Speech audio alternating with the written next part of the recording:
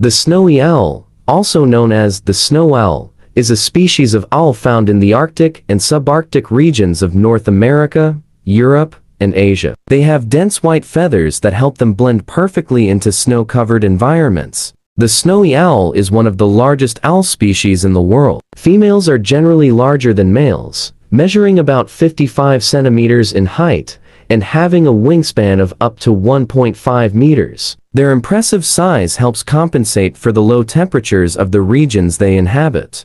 Unlike other owls, snowy owls are diurnal and nocturnal, which means they are active during both day and night. This is due to the fact that they live in areas where polar nights can last for months, making it necessary to hunt during the day as well to ensure their survival. This ability to hunt at different times of the day is a unique adaptive advantage of this owl species.